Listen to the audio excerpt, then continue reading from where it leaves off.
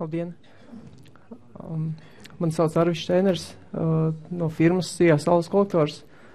Nodarbojamies ar saules kolektoru sistēmu uzstādīšanu, projektēšanu, apkalpošanu. Un, uh, par saules kolektoriem ir daudz runāts visapkārt, un uh, Latvijā jau tie kļuvuši populāri, tāpēc uh, šoreiz pastāstīšu par uh, konkrētiem rezultātiem, ko mēs vispār varam sasniegt, un galvenokārt par to, ko mēs esam pēdējā gada laikā sasnieguši, un sasniegtie rezultāti apgāž pilnībā iepriekš cerēto, un uh, sasniegums ir divreiz lielāks nekā domāts. Tātad uh, konkrēti stāstīšu par uh, saules sūkņu sistēmu, par to, kas ir saules sūkņus nedaudz uz priekšu vēlāk, uh, par saules sūkņu sistēmu un tās sasniegumiem veselības centrā Baltezers. Uh, sistēma ir uzstādīta šajā gadā uh, ar klimatu pārmaiņu finanšu instrumentu līdzfinansējumu. Un, uh, Un, uh, šī sistēma ir unikāla. Kāpēc sasnieguma šī sistēma ir unikāla? Ar to, ka uh, viņa izmanto saules enerģiju 24 stundas diennaktī. Arī šajā laikā, arī oktobrī, viņa strādā 24 stundas diennaktī, kas jau liekas neiespējami. Uh, un šis ir pirmais pasaulē lielais saules sūknis, kāds ir uztaisīts. Uh, mēs paši, kā jau teicu, darbojamies ar projektēšanu, montāžu un apkalpošanu jau septiņus gadus visā Latvijā. Un, uh, būtībā 90% no visām lielajām sistēmām Latvijā ir mūsu realizētas. Strādājam tikai ar kvalitatīviem materiāliem. Uh, materiāli ir mums Vācijas firmas ražojums termosolāru. Uh, viņus, uh, viņi testēt tiek rūpnīcā, bet, lai mēs parādītu, cik labi viņi tiešām ir, mēs arī paši viņus testējam un uh, Uh, šā, viens no testiem ir noticis ar uh, automašīnu Toyota, kad mēs vienkārši uzbraucām uz saules kolektoru virsū ar automašīnu un saules kolektoram nekas nenotika. Kā uzbraucām, tāpēc tam nobraucām nost un uh, kolektors bija pēc tam lietošanas kārtībā. Tad, uh, tas ir iespējams tikai tāpēc, ka viņš ir no kvalitatīviem materiāliem. Stikls ir trieciena drošs, 4 mm biezs. Un, uh,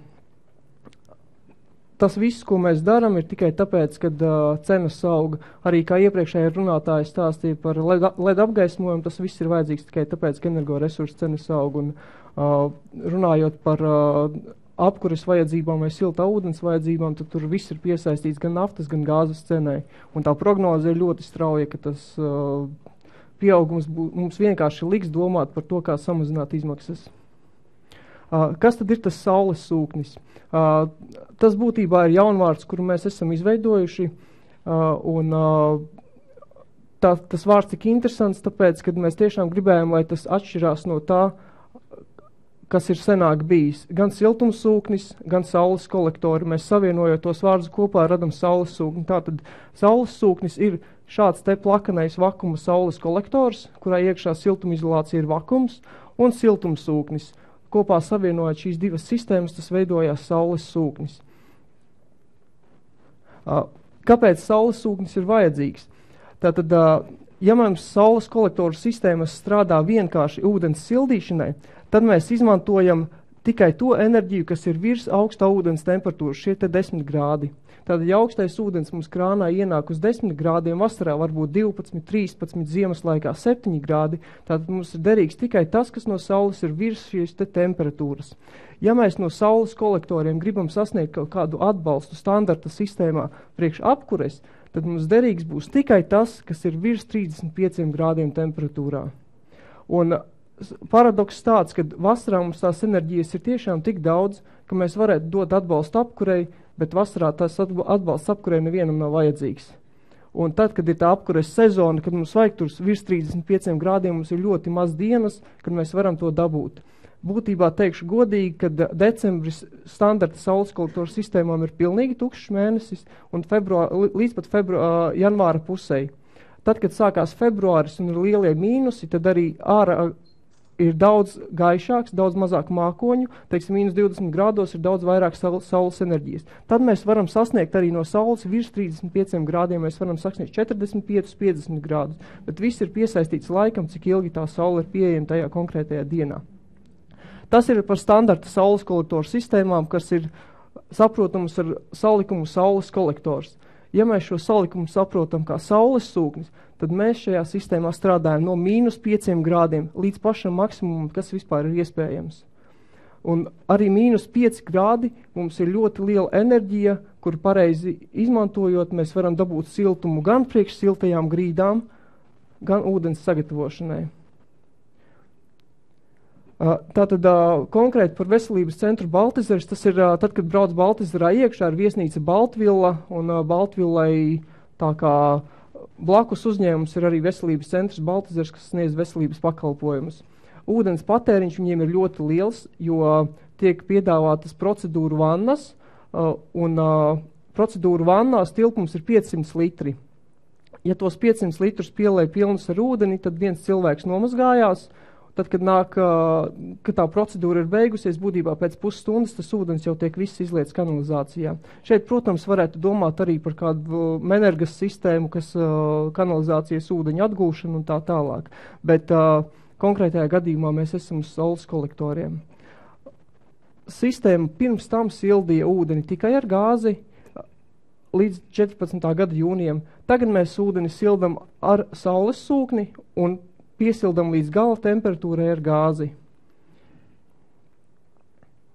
Uh, sistēma izskatās šādi. Uz jumta ir saules kolektori 20 gabali plakanie vakuma. Uh, novietojums ir uh, tieši uz dienvidiem sagriezts. Šajā gadījumā bija sarežģīti vēl tas, ka visapkārt ir lieli koki, priedes, un sagriežot tieši uz dienvidiem, mēs dabūjām vislabāko to dienas laika iespējamo enerģiju. Uh, Saules kolektori tik 20 ir tāpēc, ka sākotnēji, kad tika rakstīts projekta pieteikums, uzņēmumam nebija precīzi uzskaitīti dati par ūdens patēriņu, un uh, ūdens patēriņa dati tika prognozēti aptuveni 2,5-3 kubi siltais ūdens diennaktī. Tagad, kad sistēma ir uz, uh, uzstādīta un mēs visu esam saskaitījuši, mēs redzam, ka siltā ūdens patēriņš ir 5 līdz 6 kubi diennaktī. Bet uh, tas, kad sistēma ir uzstādīta mazāk, ir pat labāk, uh, jo mēs vienmēr varam strādāt zemākās temperatūrās, līdz ar to vairāk enerģija ir pieejama. Uh, tā izskatās katla telpā.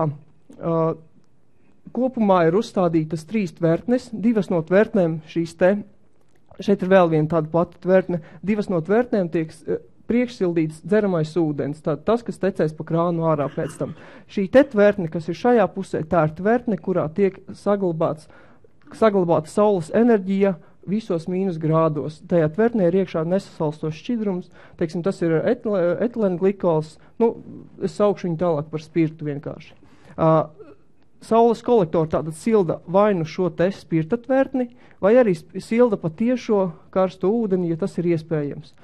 No šīs te augstās tvertnes pēc tam siltumsūknis silda šīs te ūdens tvertnes. Attiecīgi mēs no saules, kas nonāk lejā ar hidromēzglu, vai nu sildam šo vai šo, un gala rezultātā, ja darbojas siltumsūknis, tad sildam atkal dzeramo ūdeni, kas ir mūsu tā prioritāte un vajadzība. Sistēma ir ļoti sarežģīta ar to, ka, uh, lai saslēgtu to visu mazā telpā, ir ļoti daudz cauruļvadi, tāpēc viss ir arī jāmarķē un uh, jāapzīmē, lai mēs paši tajā nepazustu beigās. Uh, Kur ir tā, kur tas paradoks? Tātad, kā jau iepriekš minēju, tad saules kolektors silda vai nu pa tiešo ūdens tvertni, vai nu pa tiešo silda siltumsūkņu tvertni. Un pēc tam siltumsūknis sildīs atkal ūdens tvertni. Jo gala rezultātā ir mūs, šī ir tā mūsu vajadzība, kur mums ir priekšsildītais ūdens, kuru mēs dodam tālāk uz gāzes katlu, kurš piesildīs tātad, no, ja šeit mēs esam sasildījuši līdz 30 grādiem, tad gāzes katls piesildīs to trūkstošo no 30 grādiem līdz 55 grādiem un varēs dot tīklos. Ekonomija radīsies uz to, ka mēs no 10 grādiem esam piesildījuši uz 30 grādiem. Kā mēs varam pateikt tos datus? Mēs visu ļoti precīzi mēram šajā objektā. Mums ir uzstādīti astu, astoņas izējas, un 21 tem temperatūras sensors, plus vēl visur ir impulsu plūsmas mērītāji, kas nosaka precīzas plūsmas, lai mēs saprastu tiešām, cik daudz saule saražoja priekš ūdens patiešo, cik daudz saražoja patiešo priekš uh, siltumsūkņu darbināšanas, cik vispār siltumsūknis kilovatstundas saražoja, lai tas viss būtu precīzi. Uh, Visi dati tiek uzskaitīti ik pēc desmit sekundēm. Manas prezentācijas laikā būs ievākti jau pāris tūkstoši no datiem. Un uh, tiek nomērīts pilnīgi viss, kas beigās gala rezultātā izvietojās līknēs, un mēs varam redzēt, kā sistēma strādāja, ko vajag pieregulēt, kādas plūsmas vajag izmainīt, ko vajag, ko vajag pārtaisīt. Kas ir paradoks saules sūkņiem strādājot? Tad, uh, strādājot uz šīm zemajām temperatūrām, kas ir priekš siltumsūkņa, mēs darbojamies ar mīnus grādiem, kas ir uh, pretrunā tam, kā saules kolektori tiek testēti laboratorijās, Solar Keymark, piemēram. Ja, jo šai sistēmai kopumā Solar Keymark ir notestējis, ka būs 29,14 kW jauda. Tajā brīdī, kad mēs strādājam tieši uz siltumsūkņu, uz tām zemajām temperatūrām, mēs sasniegam 35 kW jaudu no sistēmas, kurai jauda pēc laboratorijas ir 29 kW. Tas, protams, notiek uz īsu brīdi, teiksim, uz desmit minūtēm, bet to jaudu mēs pārsniedzam. Un tas ir tikai tāpēc, ka mēs dabūjam to iespēju strādāt uz ne, uh, mīnus grādiem. Attiecīgi par rezultātiem, ko mēs sasniedzam. Tātad, ja mēs uh, saprotam, ka mums ir tās divas tvertnes, viena ir ūdens, otrā ir spirts, tātad priekš ūdens patiešo jūlija mēnesī šogad mēs saražojam šo te daudzumu, kas ir 2800 kWh, kas ir ļoti normāls rādītājs šādā izmērā sistēmai, ko, ko mēs varētu piesildīt priekš ūdens. Tad, kad mēs darbojamies uz siltumsūkņa, mēs saražojam vēl papildus 1600 kWh. Šis ir tas zilais stabiņš, ir tas, ko mēs līdz šim, līdz šī gada jūnijam, nekad nevarējām sasniegt. Tā bija visa tā enerģija, ko mēs būtībā pazaudējām. Vienkārši nebija tas apvienojums. Augusta mēnesī jau par cik saule paliek mazāk, pat tiešo izmantojamā enerģija mums samazinās, mēs dabūjam vairs tikai 2000 kWh. Toties uz siltumsūkni mēs dabūjam 2390 kWh, kas, tā, kas nozīmē tā, tad mēs dabūjam jau vairāk uz siltumsūkni nekā pa ūdeni par tiešo mēs varējām izmantot. Pēc tam to siltumsūkņa enerģiju mēs ar siltumsūkni transportēsim pa šo derīgo sarkano enerģiju. Septembra mēnesī saules enerģija samazinās vēl mazāk, jo arī dienas ir daudz īsākas, saules ir mazāk, Patiešām mēs varam dabūt septembrī tikai 400 kWh priekš ūdens sildīšanas. Un, ja salīdzinām citas sistēmas līdzvērtīgas ar 20 kolektoriem Latvijā, tad rādītāji ir visām vienādi. Aptuveni 400, 500, 600 kWh mēs sasniedzam atkarībā no ūdens patēriņa. Bet par cik mums ir siltumsūknis, mēs dabūjam vēl papildus 1000 kWh. Būtībā divas reizes vairāk nekā patieši ūdenim mēs varējām dabūt ja skatāmies par, uh, pa mēnešiem, kā tas izveidojas kopumā no visas sistēmas, uh, tad jāvē, jāievērtē mums ir tas, ka siltumsūknis patērē elektrību savā darbībā. Ja mēs saražojam tātad 2600 kWh ūdenim un pēc tam spirtam, spirtamūts arī sasildiem kopā, tas mums veidojas sarkanais stabiņš, kas ir tāda 4900 kWh no saules mēs dabujām to enerģiju. Uh, lai to enerģiju, lai to visu zilo stabiņu mēs pārvērstu mums derīgā enerģijā, priekš karstā ūdens, mums ir jādarbina šis za gaiši zaļais stabiņš, kas ir elektroenerģija, siltumsūkņu darbināšanai. Attiecīgi sil šī elektroenerģija siltumsūknim darbojoties viens pret viens pārvēršas par siltumenerģiju. Tātad arī viņa ir beigās derīga un izveidojas šis tumši zaļais stabiņš. Tātad tumši zaļais stabiņš nozīmē visa iegūtā siltumenerģija. Ja mēs pareiķinām liederības koeficientu, par cik mēs iztērējam elektrību, tad jūlija mēnesī liederības koeficients bija 13, augustā 9 un septembrī 7.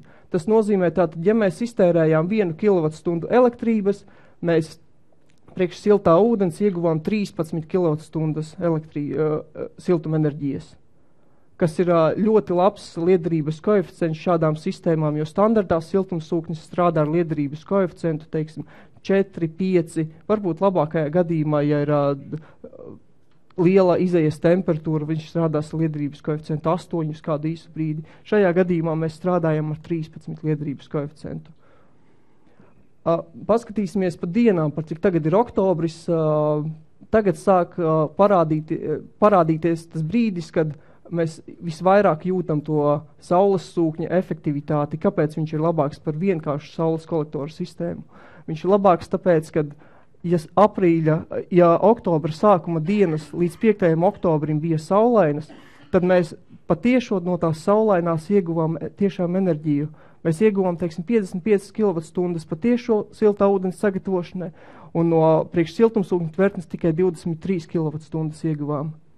Turpretī tajā brīdī, kad vairs nav saules, kad ir šāda apmākusies diena, kā tagad ārā, tad patiešām mēs karstā ūdens sagatavošanai no saules kolektoriem neiegūstam neko. Būtībā no 5. oktobra līdz šodienai mēs neko neesam ieguvuši. Vakar arī ne, bija nedaudz saulaina diena, vakar mēs ieguvām dažas kilovatstundas. Turpretī priekš spirta mēs iegūstam pilnīgi katru dienu, un cirkulācijas sūklis saules kolektoru sistēmai neapstājās ne uz brīdi. Tāpēc, ka tagad mēs sildam līdz pat mīnus 5 grādiem. Un uh, beigās ja mēs esam sildījuši līdz mīnus 5 grādiem to, uh, to spirta mucu, siltumsūkņi darbojoties, mēs dabūjam arī priekšsildītā ūdens temperatūru tagad uz 25-30 grādiem ar savu liederības koeficientu oktobrī, teiksim, 6,5. Uh, ja salīdzināsim vienkārši saules sūkņu sistēmu, kas ir Baltezerā, ar saules kolektoru sistēmu, kādu esam taisījuši līdz šim, uh, Uh, abas divas sistēmas ir mūsu projektētas, abas esam būvējuši un uh, darījuši pēc labākās patikas, lai tas viss strādātu.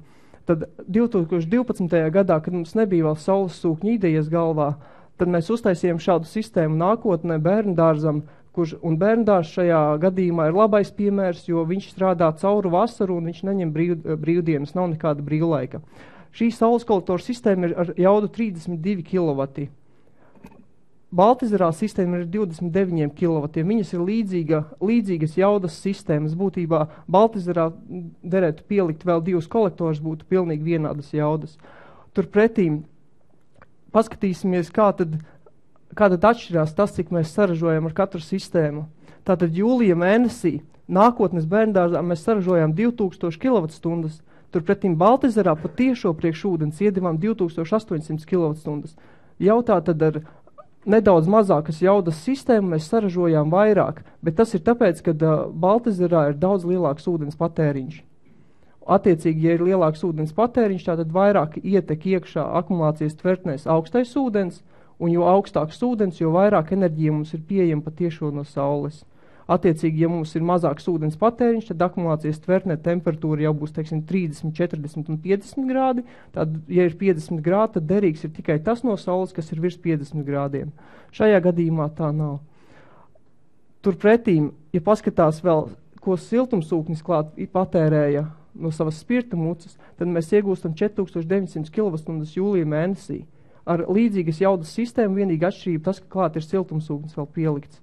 Un tad, tad 2000 kWh pret 4800 kWh 900. Tas ir ar Baltizera sistēmu mēs iegūstam no Saules divreiz vairāk enerģiju nekā ar līdzvērtīgas jaudas Saules kolektoru sistēmu Jelgavā. Skatās uz augusta mēnesi, ir tā pati, tā pati situācija. 1200 kWh pret 1600, kas ir vairāk vai mazāk līdzīgi, jo, kā jau minēju, ūdens patēriņš ir svarīgākais. Uh, Bet tiklīdz ir ieslēdzies siltumsūknis ar savu darbību un spirta mucas sildīšanu, tad mums ir 4000 kWh, kas ir ļoti liela atšķirība. Būtībā trīs reizes vairāk mēs saražojām augusta mēnesī Baltizerā nekā Jelgavā ar līdzīgas, uh, līdzīga lieluma saules kolektoru sistēmu. Cenas ziņā sistēmas arī ļoti līdzīgas. Vienīgā atšķirība, ka saules sūknis būs nedaudz dārgāks, skatoties uh, uz to, cik lielu jaudu uh, siltumsūkni vajadzēs un cik lielu tvertni vajadzēs. Tās ir vienīgās izmaksas atšķirības. Kas ir interesants saules sūknim, mēs nedrīkstam izmantot visus saules kolektorus tādās sistēmās. Tāpēc, kad ja, mums, ja mēs darbojamies uz mīnus grādiem, tad mums ļoti lielā apjomā radīsies kondensāts.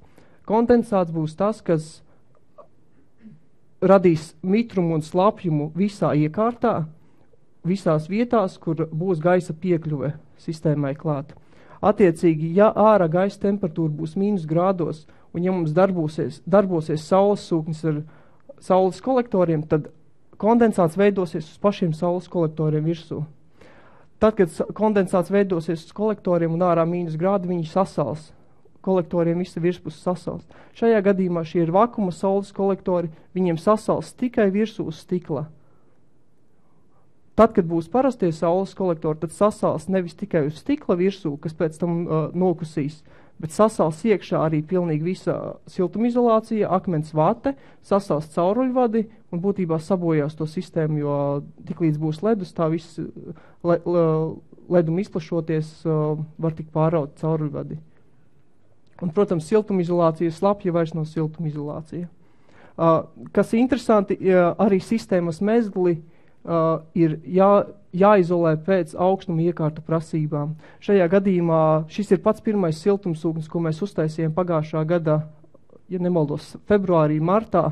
Uh, 13. gada tepat uh, Rīgā, uh, Jūrmal, Jūrkalnas ielā. Uh, mēs no sākuma nezinājām, kā tas īsti strādās, kā tas darbosies. Un, uh, mēs redzējām, ka tad, kad mēs siltumsūknim liekam strādāt uz mīnus grādiem, tad mums kondensējas pilnīgi viss, kas nav izolēts. Attiecīgi šeit ir hidromezgla daļa, un hidromezglam šeit ir plūsmas mērītājs saules kolektora daļā. Tas viss plūsmas mērītājs bija apsalis. Viņš apsalis ir tikai tāpēc, ka uh, mēs darbojamies ar tiem mīnus grādiem. Un kondensāts, kas iznāk ārā, uh, šī, te, kat, šī te katlu telpa arī nav apkurināma, attiecīgi katlu telpā ir mīnus grādi un sasals mums pilnībā viss. Saules kolektori, še, šī ir pati pirmā diena, kad saules kolektori apsala, mēs mēģinājām vēl vairāk un saules kolektori apsalst vēl vairāk. Tur mēs uzaudzējām 2-3 cm ledu virsū uz tiem saules kolektoriem. Normālā sistēmā Baldizrā tas nekad nenotiks, jo tur mēs vairs neregulēsim. Mēs, eh, mēs nemācīsimies un netestēsim to vairāk. Bet tā, tā ir tā galvenā lieta, kad nedrīkst izmantot visus saules kolektorus, drīkst izmantot tikai plakanos vakuma saules kolektorus šādā sistēmā. Un, kā jau minēju, tad, ja tas ir vakuma saules kolektors, mēs varam redzēt, kāds ir viņam vakuma rādītājs iekšā saules kolektoros. Sākumā, kad mēs uzstādām sistēmu, viņā ir pašā kolektorā iekšā ir gaiss mēs to gaisu izsūknējam ārā un aiz, aizdzenam līdz mīnus vienai atmosfērai returnējumam. Tad, kad ir vakums iekšā, tad vakumā nav gaisa mitruma, un kā nav gaisa mitruma, tad neradīsies kondensāts. Šāds plakanais vakums saules kolektors ir arī energoefektivitātes centrā šeit ārā pa telpu uz balkoniņa. Viņš ir uzstādīts jau kādus 4-5 gadus tur, kāda, kā demo variants arī atvakumēta sistēma. Un tā sistēma arī ražo šim centram ūdeni priekšsilda, cik viņa spēja. Tātad pa secinājumiem saules sūknis var daudz vairāk kā vienkārši saules kolektoru sistēmas, un tā ir nākotne, kas, uz ko mēs iesim. Un, ja mēs pirms diviem gadiem projektējām sistēmas ar saules kolektoru un sasniedzām ļoti labus rādītājus, un, un klienti bija apmierināti, tad ja tagad man būtu izmēle, izvēle, mēs vairāk neprojektētu tādas sistēmas, mēs projektētu jau saules sūkņa sistēmas, jo rādītājs ir sasniedzams divreiz labāks. Un uh, saules sūknis nav tā, ka viņš ir uh, vienīgais uh, risinājums tad, kad ir nepieciešams ūdens. Uh, var arī izmantot vienkārši saules kolektoru sistēmas, bet viss atkarīgs no situācijas, ko mēs izmantojam ūdens sildīšanai. Ja mēs izmantojam tādus resursus kā elektrību vai gāzi, vai dīzeļdegvielu, kuri var piesildīt tikai to starpību, tādu no 30 grādiem līdz 40 grādiem, tad, mēs, tad saules sūknis ir ideāls. Tajā brīdī, kad mēs ūdeni sildam ar malku, tad saules sūknis nav vajadzīgs, jo tajā brīdī jums saules sūknis uzsildīs ūdeni līdz 30 grādiem, bet, lai sasildītu no 30 līdz 50 grādiem, jums tāpat būs jākurina malkas katls. Bet uh, tur tā atšķirība, kad vienmēr ir uh, katrai iekārtai un sistēmai ir savs īstais pielietojums. Tāpēc nevar teikt, ka vienmēr saules kolektora vai saules sūknis būs vajadzīgs, bet uh, ir, ir jāskatās pēc objekta vajadzības. Sistēma ir automātiski, droši darbojās. Uh, kā mēs, uh, mums ir parasti tā, ka uh, cilvēki ir pieraduši, vajag kaut kādas apkalpošanas izmaksas, un tā mūsu sistēmām tādas nav vajadzīgas. Mēs uzstādām sistēmu, mēs tiksimies, ar, mēs tiksimies uh, darba, uh, darba vajadzībās ar to klientu pēc sešiem gadiem, tad, kad būs jāmaina siltumnesējas sistēmai. Pārējais sistēma ir automātiski un droši. Tur cilvēki būtībā aizmirst, kad viņiem ir saules kolektori, viņiem vienkārši ir tas komforts, kad ir siltais ūdens vai apkuri mājās. Uh, enerģija ir 24 stundas diennaktī. Tas ir pats galvenais, ko mēs uh, dabūjam no saules kolektoriem, saules sūkņu sistēmā cauru gadu. Un vēl ļoti liels pluss sistēmai tas, ka uzstādot šādu sistēmu, mēs aizņemam mazāk vietu uz jumta. Ja attiecīgi nākotnes bērngārzā mēs bijām uzstādījuši sistēmu ar 30 kW un aizņēmuši tādu pat vietu kā Baltazarā uz jumta, tad uh, uzstādot uh, nākotnes bērnu dārzā saules sūkņu sistēmu, mēs varētu aizņemt uz pusi mazāk vietu uz jumta un sasniegt tos pašus rādītājus, kas nākotnē tagad ir. jo vienkārši darbojoties uz uh, siltumsūkņu tvertni, mēs sasniedzam to pašu tikai no mazākas platības. Un uh, tad galvenais ir uh, kombinēt pareizās iekārtas un tehnoloģijas. Paldies! Jautājumi! Ir kādi jautājumi, lūdzu?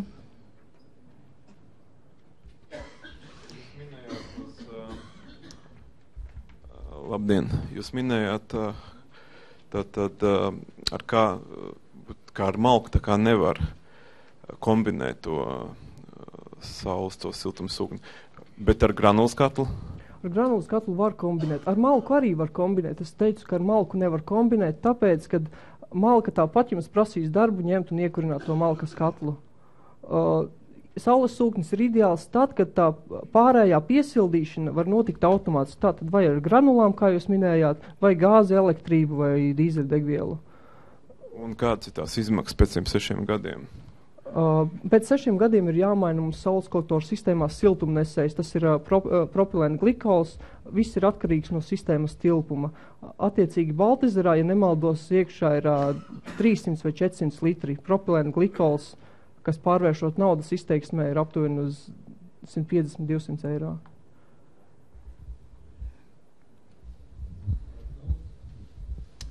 Sakiet, lūdzu, kādu jūs plānojat atmaksāšanās laiku šīm iekārtām? Jā, atmaksāšanās laiku mēs rēķinājām Baltizaram konkrēti jau tad, kad bija projekta pieteikums, lai pārliecinātu firmas īpašnieku par cik tā nav pašvaldības iestāde, bet tas ir uzņēmējs, kam tiešām interesē, kā viņš investēs savus līdzekļus. Mēs izreikinājām precīzi atmaksāšanos laiku, viņam tas bija pilnām investīcijām uz 15 gadiem. Par cik viņš saņēma līdzfinansējumu no klimata pārmaiņu finanšu instrumenta, viņam tas atmaksāsies divos, trīs gados. Bet uh, papildus bonus mūsu pusē ir tas, ka Un arī īpašnieka pusē tas, ka mēs neparedzējām, ka ūdens patēriņš būs nevis 2 vai 3 kubi, bet ir 5, 6 kubi. Attiecīgi mēs darbojamies daudz vairāk un daudz intensīvāk. Tad nu, at atmaksāšanās, ja ir līdzfinansējums, būs 2, 3 gados, bez līdzfinansējuma tas būtu 15 gados. Ja, ja mēs salīdzinām ar gāzi, uh, viss ir atkarīgs ar, no tā, ar ko mēs kurinājām pirms tam. Ja mēs kurinājām ar elektrību, atmaksāsies divreiz ātrāk. Būtībā elektrība ir trīsreiz dārgāka nekā gāze. Tātad septiņos gados pilnas investīcijas var atmaksāties. Tad tādā gadījumā vēl viens jautājums, vai ir veikti kaut kādi aprēķini, teiksim, uz privātmājām? Cik tur ir jāiegulda un pēc kāda laika tur, teiksim, tas varētu atmaksāties? Jo, cik es saprotu, šeit, šeit, šeit jūsu gadījumā ir tas plus, kad tur ir liels ūdens patēriņš, jā, un ka tas vienkārši investējot tā kā atmaksājās, bet privātmājai tur ir veikti kaut kādi aprēķini, kā ir uz privātmājām. Jā, mums ir veikti aprēķini uz privātmājām arī tāpēc, ka pirmā saules sūkņu sistēma tika uzstādīta tieši Rīgā, tieši privātmājā, tā, ko es rādīju bildēs, kur aplidojušie kolektori bija. Un, uh, ir tā, ka privātmāja noteikti mīnus ir tas, ka uh, karsto ūdeni viņi vasarā netērē tik daudz kā centrs. Tātad uh, līdz ar to vasaras periodā mums uh, tas potenciāls, ko mēs varētu saražot, it kā pazūd. Toties ziemas laikā, tad, kad mums ir vajadzīga apkure, tas ļoti daudz dod atkal papildus klāt. Šeit zālē ir arī mājas īpašnieks, kas uh, Dainis Millersons, uh, kam ir tā pirmā sistēma uzstādīta saules sūkņa Latvijā. Un uh, paradoks tāds, ja pirms tam vajadzēja kra, uh, kurināt tās granulas, uh, nevis granulas, bet briketes, tad uh, tagad joprojām tas kamīns stāv apkrāmēts ar avīzēm, uh, kamīns nekad nav iedarbināts. Un uh, šeit, uh, ja runājam uz privātu mājām, tad uh, nav jāskatās tik daudz uz atmaksāšanās periodu, kurš sasniegs teiksim, 20 gadus pilnām investīcijām, ja viss būs jā, jāmaksā pašam. Un ja, un, ja salīdzināsim ar gāzi, ja salīdzināsim ar, ar elektrību, kā bija Daņa gadījumā, viņš sildīja iepriekš ar elektriskiem sildītājiem, viņiem tas atmaksātos 10 gados pilnas investīcijas. Bet uh, šeit vairāk ir uzsvars uz to, ka tas ir komforts. Šeit vairs nav uh, briesmas par to, ka var kaut kas aizdegties, uh, nebūs jātīra skurstenis, uh, un uh, nebūs jārūpējas par to, kad ir jāiekurina tās, uh, tā jotula krāsniņa. Māja visu laiku būs silta, un uh, mēs jau smējāmies sākumā, kad uh, tagad uh, mājai vairs, uh, mājas stūros vairs pingvīni nedzīvo, jo jo māja visu laiku ir silta. Tad, kad bija ar elektriskiem sildītājiem, tomēr elektrība bija dārgs uh, variants un ejot projām gribējās viņu izslēgt. Tas ir. Uh,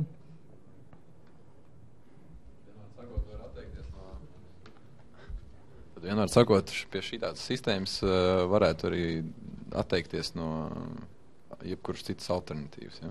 Papildus. Jā, šai sistēmai ir vairāki varianti. Viens variants ir tāds, ka Baltazarā mēs uztaisījām, kad uh, siltumsūknis darbojas tikai no saules kolektoriem. Ja mums ir privātmāja, tad privātmāja parasti apkārt ir arī zemes pleķīts iespējams. Ja mēs varam sakumbinēt un, un mēs drīkstam zemē ievietot zondes iekšā vai, vai horizontālo kontūru, tad attiecīgi mēs varēsim izmantot arī no turienes siltumu vēl. Un tad jau mēs esam kā pamata apkure, kas varēs nodrošināt pilnīgi visu, un mums nevajadzēs vairāk domāt par citiem apkures risinājumiem. Ja, ja mēs taisam bez zemes kontūra, tad mēs nebūsim kā pamata apkures risinājums, mēs būsim kā papildus apkures risinājums rudenī, pavasarī, bet uh, janvārī es negribu apsolīt, ka mēs varēsim nodrošināt. Tad, kad būs ierakta zeme iekšā, tad mēs varēsim to izdarīt. Būtībā apkure, apkure visu, visu sezonas garumā. Vēl kāds jautājums, lūdzu?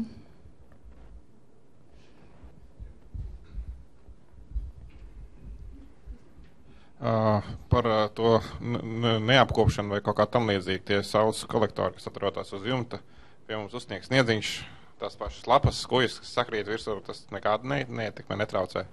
Bet tomēr uz slotu jāskrēja ir ikdienā. Pateikšu ar joku pretī, kad uh, mēs uzstādījām reiz vienam klientam 12 saules kolektorus. Uh, bija sadalīti 6 kolektori vienā mājas pusē, 6 kolekto, kolektori otrā pusē. Uh, bija nemaldos pavasaris, ļoti daudz priežu putekļi. Un mēs vienā vakarā domājām, nu, nomazgāsim tos kolektorus tāpat ar šļūteni. Nomazgājām tos kolektorus ar šļūteni nost. No rīta skatījāmies, kā ir, kas notiek ar temperatūrām, un izrādījās, ka tie kolektori, kurus nenomazgājām, deva vairāk, lielāku temperatūru nekā tie, kurus nomazgājām. Un, un tas ir izskaidrojums tikai ar to, ka attiecīgi nenotiek tik liela atstarošanās siltumenerģijas. Un uh, saules kolektori, tad, kad ir uz, uzlikti uz jumta, ja tur ir kaut kāda lapa uzkrīt virsū vai putekļi vai pu, uh, putekšņi no ziediem, uh, uznāks lietus, tas nomaz, nomazgās visu lieko nost.